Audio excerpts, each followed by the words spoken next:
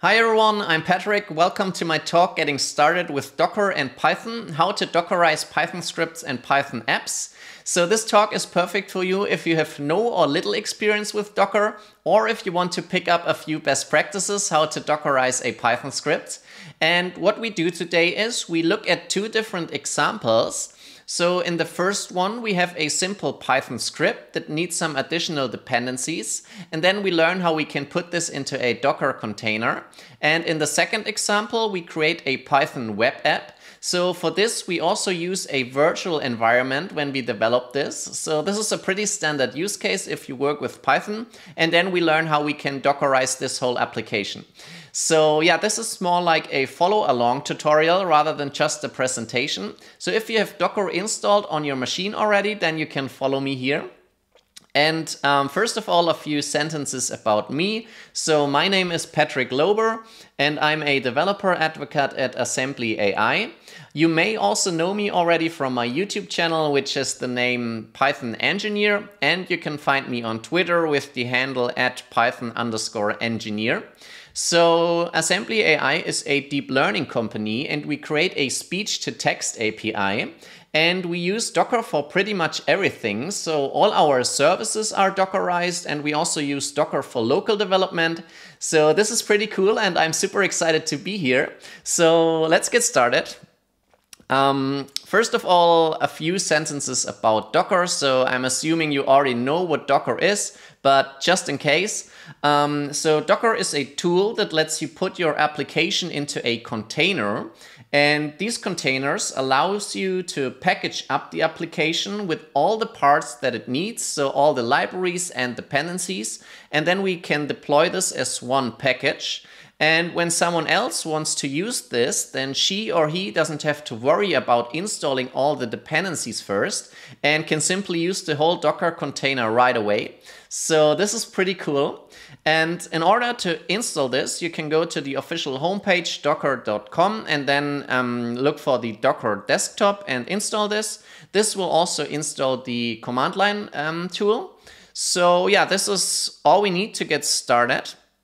And in my case, I'm using Visual Studio Code as the editor. So I also recommend to install the official Docker extension. So if you search for Docker, this should be the first result. This will just give you things like auto completion or debugging support and just makes your life a little bit easier. So yeah, go ahead and install this as well. And now let's create our first um, example. So let's create a new directory and in here let's create a new file main.py. And then in the terminal I also want to cd into this directory. And I already prepared the code so you can find this on GitHub. The link will be in the description below. And yeah, so let's simply copy the whole code from the main.py file. So what this file is doing, this will scrape the IMDb top 250 movie charts and then randomly selects a movie for you. And for this we use two third-party libraries. So the first one is requests and the other one is beautiful soup. So we need to install these. And yeah, we do this in a moment with our Docker file. So one more thing I want to mention here that in this code, um, I have a while true loop that is waiting for user input. So for now I have a break statement here, so it doesn't get to this part. So, but we will also learn in a moment how we can deal with user input in a Docker container. But for now, this is without the user input. And yeah, so the first thing we do with if we want to containerize or dockerize our Python app is that we need a Docker file. So let's create a Docker file and this doesn't have any extensions, so simply Docker file. And you see we already have the logo here, so Visual Studio Code knows that this belongs to Docker.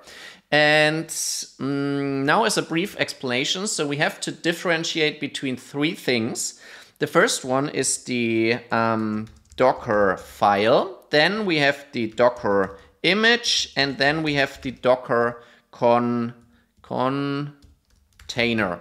So, um, and by the way, we can use comments like this in a Docker file. So a Docker file is a blueprint for building images. A Docker image is a template for running containers. And the container is then your, your running process with your application in it. So yeah, first we need the Docker file. So our temp, uh, not our template, our blueprint for creating the image. So the first thing we do is we specify a base image and you see we already get auto completion here or auto suggestions. So from and then in my case, I use a Python base image. So I say Python and then colon, and then you can specify the specific tag you want. So in my case, I want Python 3.9. And by the way, if you want to look for other official um, Python images, then you can simply search for Python Docker. And in my case, this is the first result. So this is available in the Docker Hub. So if we click on this, then yeah, here you see all the different available tags that you can pull. And yeah, so maybe one thing to mention is that sometimes you see tags with the name Slim or Alpine. So these are more minimal packages that you um, use if you have, for example, size constraints. So you want to keep your whole package or container small. But uh, usually the recommendation is if you don't have any constraints, then just use the normal Python base image. So yeah, this is the first thing we do. And now we want to add our file into the container. So we do this with the add command. So we say add, and then you see we get source and destination. So the source is main.py and the destination is simply a dot. So this will just be in the base folder in our container. And now the next thing to do is we want to install the third-party libraries. So we can do this with the run command. And now the command is pip install and then requests and beautiful, beautiful soup 4. So this is like you would enter it in a terminal. So yeah, we want to run this and install this. And now the last thing is the command that will be executed when the container is started. And in this, basically, we want to say python main.py and run our Python script. But this will be a comma separated list. So the first string is simply Python. And then the second one is the first parameter. So this is dot slash, so in the same directory, main dot py. And yeah, this is all that we need. So now we can go back to the terminal. And yeah, of course we need Docker installed. So we can check this with docker-v and then you see the Docker version. And now we want to build our Docker image. So after we have specified our Docker file, we can use the Docker build command and then minus t and give it a tag or a name. So in this case, I say python imdb and then the directory is simply a dot, so in the current directory. And now we can hit enter and this will build our Docker image. So yeah, this is already done in my case because I did this before. For you, it may take a few minutes even if you do this the first time. But yeah, and one important thing to also note here is that this will, you may also see this in the logs, step one, then step two and step three. So this will run from top to bottom and then execute all the commands in our Docker file. So yeah, the order is important here. And yeah, so now we have our image. So now we can run this. So now we say docker run and then the name was python-imdb and then let's see if this works. So yeah, we get a movie su suggestion like it's done in the script. So yeah, this works. So now we dockerized our first Python script, so congratulations. And now one more thing I want to show you. So if I comment this out, then we have this as a while true loop. So here we have the while true loop that is waiting for the user input if we want another movie or not. So um, now um, we changed our file. So now we have to rebuild this. So now let's again say docker build and then our um, image. And in this case, yeah, it took a few seconds. So now if we run it like this, I think this will crash. So let's see what happens. Um, it looks a bit weird, but it's running. So let's enter something. Um, but yeah, actually it does not work. So now, since we have user input, what we have to do is we have to specify additional arguments. So we say minus i for interactive and minus t for a pseudo terminal, basically. And yeah, so now let's run it like this. And yeah, then we don't see any errors. So now we can say a Y for we want to continue and then we get another movie. And if we say no, then it will stop the container. So yeah, this works. And yeah, this is our first example. So let's go on and let's go to the second example. So let's create a new folder, example two.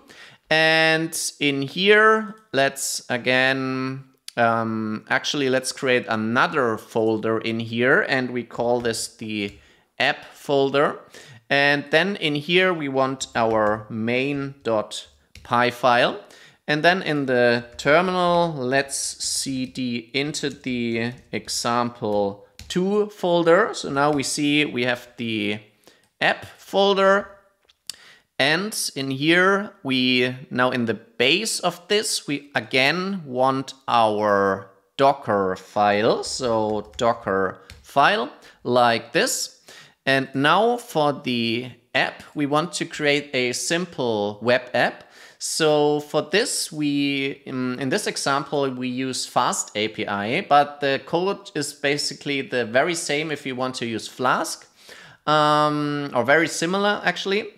So yeah, what we um, want to do here is we have to install Fast API and we also need uvicorn as our ASGI server. So for this, I want to create a virtual environment. So let's do this in here with Python 3-m venv And now this will create a virtual environment in here. So you already see this. And then we can activate it with .vm slash bin slash activate. So the command is slightly different on Windows, but I'm sure you can find this out for yourself. So yeah, so now this is activated. And now we install the requirements that we want. So we say pip install fast API and uvicorn. These are the two libraries we need to install and hit enter. So yeah, so now we have this. And now let's create our app.py file or our main.py file. So here I'm simply copying the example code from the official Fast API docs. So it's this one. And, oh, sorry, I copied it in the Docker file. This is wrong, of course. So we need this main.py file. So in here, so here we simply, we create our app instance and then we define function and decorate this with app.get. And then we have another route with another endpoint and yeah, so let's save this and now we can already run this and in order to run this, so you could do this in the code and say, for example, you import uvicorn and then um, say uvicorn.run. But we can also do this in the terminal. So we say uvicorn and then the folder or the path to the file. So this is the app folder and then the main file and then colon and then this app is the app instance in our file. So now if we run this, then this should work already. So yeah, now it says uvicorn running at localhost port um, 8000. So let's click on this and go to this route and then we get hello world.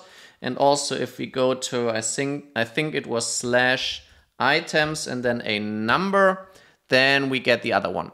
So yeah, this is working. So let's say control C and quit this again. And now we want to Dockerize this. So again, we need our Docker file. And then again, we say from Python and then the same um, base image 3.9. And now I want to do it a little bit different.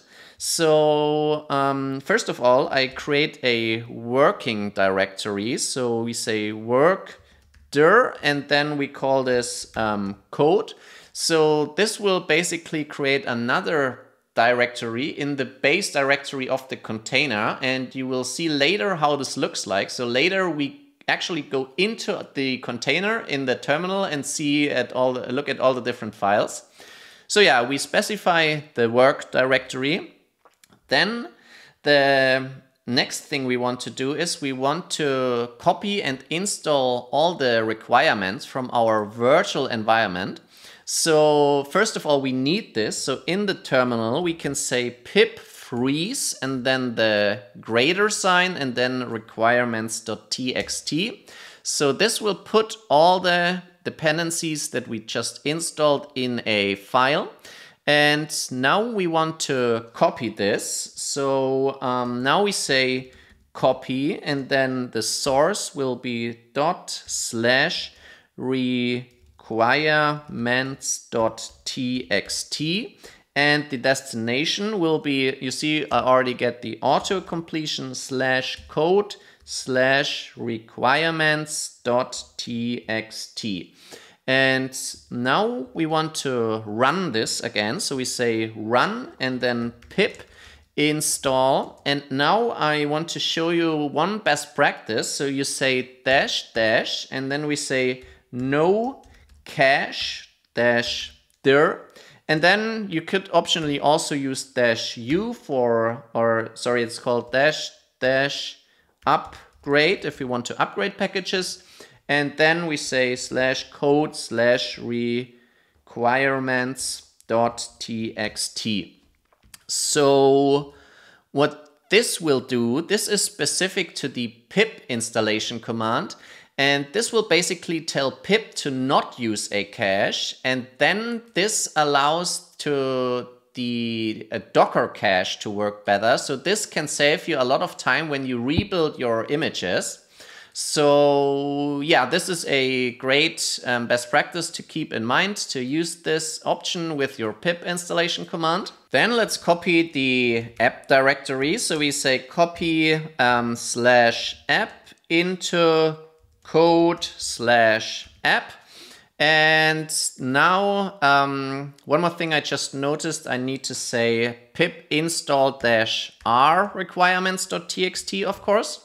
And then as last thing, we need our command. So here again, we want to say uvicorn and then run the um, main.py. So here we say as a list and here uvicorn and then we want the same command that we have here in our history app.main colon app. So if we run it like this, then it actually doesn't work and you will see um, why it doesn't work in a moment, but I will leave it like this. And now we can build our image, but before we do this, I actually want to show you one more best practice. And this is to use a docker ignore file. So in here we say dot docker ignore. This is similar to a .git ignore file, so this will ignore certain files or uh, folders that should not end up in your container. For example, here we created this virtual environment, but we actually don't need this in our um, container, so we don't want to copy this whole directory. So let's um, write some file names and folders into this docker ignore. And I also already prepared this, so you can find this on GitHub as well in the example too. And in here, for example, you see I have the PyCache, then I have some endings like this. Then I have the env and venv uh, folders for virtual environments and some more files. So let's copy and paste this. So this may not be exhaustive, but this is a good starting point for Python applications. And yeah, so we use this docker ignore file. And now we can say docker build minus t and then fast API tutorial and a colon for the current directory. So let's build this. And yeah, so this is already done. So now we can say docker run fast API tutorial and let's see what happens. So we see in the terminal that this is running at localhost port 8000 but if we go to this address, then we actually see that our browser can't connect to the server. So this is actually not yet working.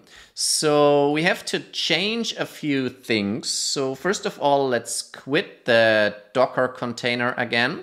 And now in our Docker file, we have to specify a few additional arguments where we want to run our server.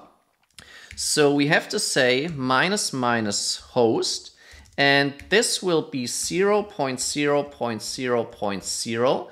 So this is basically a placeholder address that will listen to all IP addresses on the local machine. So this will basically be our local host. And yeah, so we basically have to use this whenever we want to run a server from within a um, Docker container, so this is the same for Flask, for example. And yeah, and the next argument is the minus minus port argument. So we have to specify a port and let's use port 80, for example. And now we can build this again and then we can run it, but we also have to specify the port and map this from the container to the outside. So we do this by saying minus p and then we map the port here also to our port on the outside. So 80 colon 80. And now if we run this, then um, we get an error and this is because I think I already had this from a previous tutorial. So let's quickly have a look here. So yeah, let's um, stop this and delete this. So I will show you this again in a moment. So um, let's clear this and try this again. So yeah, so now it's running and you see this is at 0000 port 80, but actually we can now go to localhost port 80 again. And now if we refresh the site, then we see the server response hello world. So now this is working and we successfully Dockerized our web application. So yeah, now one more thing I want to show you. Um, let's um, say Control C and shut this down again. So one more argument that we can use is the minus D argument, and this will run the container in the background. And then we also can give it a name and say uh, my fast API container. And now if we hit enter, then we see we immediately get our console back. And if we go to the address and refresh this, then this is still up and running. So yeah, so now we can actually open our Docker desktop and in here you should also now find your container with this name, my fast API container. And yeah, so this works. And now one more cool thing um, is that if we click on this CLI, then we can actually get a terminal inside the container. So let's do this. And by the way, if you want to do this manually, you can do this with this command docker exec minus it, and then you need to know the name.